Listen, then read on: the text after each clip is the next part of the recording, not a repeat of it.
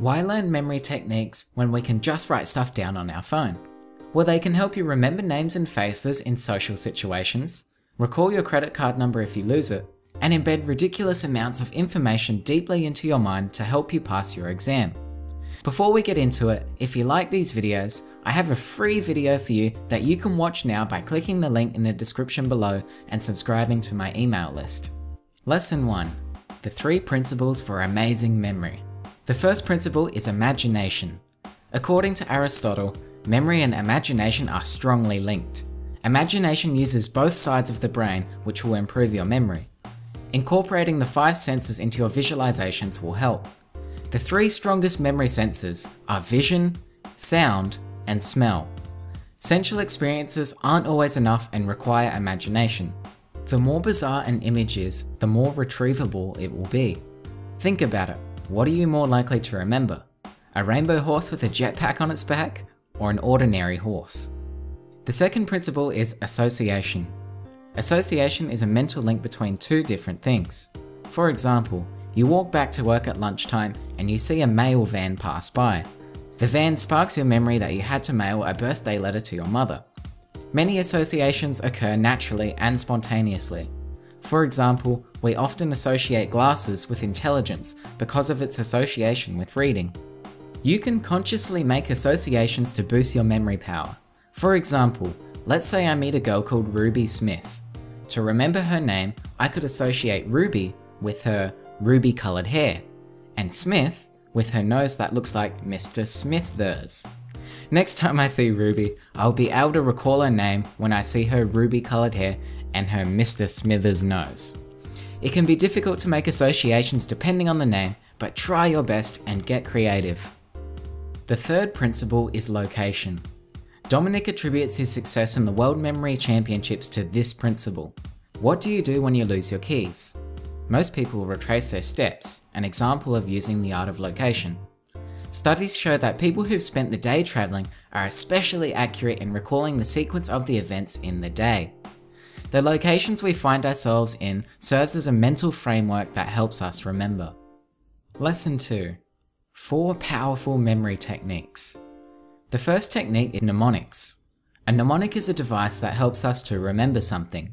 Word-based mnemonics like acronyms and rhymes are a common way to help recall information, although it has been criticised as a technique that doesn't help you understand the information you're memorising. However, it can come in handy for exams. I had a marketing exam last week and I used an acronym to remember the 5 laws of shopping. PALMS Purchase goals, availability, limited time, many short trips, and selective purchasing. Rhymes are another type of mnemonic. A common one to remember is how many days there are in each month. It goes like this. 30 days have September, April, June and November. All the rest have 31. Except February, my dear son. It has 28 and that is fine, but in a leap year, it has 29. The second technique is the story method. I have a list of 5 items. A backpack, a diamond, a banana, a basketball, and a bowling ball. The idea is to form a story that links together each item. Make your story interesting by using your imagination. To link the first two items, backpack and diamond, you could say, I was searching through my smelly backpack to find my dazzling diamond ring. By making items more vivid and imagining sounds and smells items make, the more you will cement them into your mind. Technique number 3. The Loci Method. This is perhaps the most powerful technique because it combines the three major principles of memory, imagination, association, and location.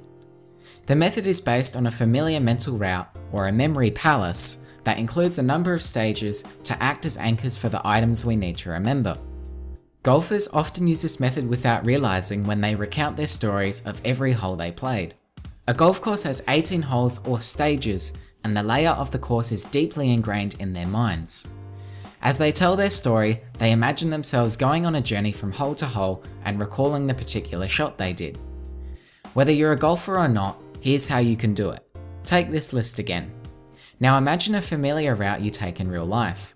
For example, I can vividly remember the journey I took through my school when I was younger. This is my memory palace. In the morning, I'd walk past the gate, into the classroom, and go to the playground for recess. That's three stages in the journey that I could anchor an item to. I could imagine bumping into the school gate and everything spilling out of my smelly backpack. Next I find a dazzling diamond ring on my desk that my secret lover put there for me. Lastly, I run to the playground and accidentally slip on a moldy banana peel and bump my head. And now for the most powerful technique, the Dominic system. This system can be extremely effective when it comes to recalling large numbers or memorizing a deck of randomly shuffled playing cards. This system works by seeing numbers as images, because images are easier to remember. Images of people work best. Assign a letter to each number from 0 to 9. 1 is A, 2 is B, 3 is C, etc. It's often better to mix logical connections with creative ones. For example, 0 could represent O because they look the same. Now group the numbers into pairs, all the way up to 99. These pairs are then used to create the initials of people's names using the number and letter pairs we created. In the case of memorizing randomly shuffled playing cards, we convert spades to S, hearts to H, clubs to C, and diamonds to D. We then convert the card number to its own letter as we did before. A 2 of clubs would become BC or Bill Clinton. A 10 of diamonds would become AOD or The Amazing One Direction. Now combine this system with the Loci and story methods. Place each character at a stage in your memory palace and make a story out of it. This is an incredibly powerful way to boost your memory capacity that Dominic used to recall 412 playing cards at the World Memory Championships. To summarise, we learnt about the three principles for amazing memory, including imagination, association, and location. We also learnt about four powerful memory techniques including mnemonics, the story method, the Loci method, and the Dominic system. In the next video, you'll learn how to master the distraction and get the right things done. That rounds it up. Thanks for watching and have an awesome day.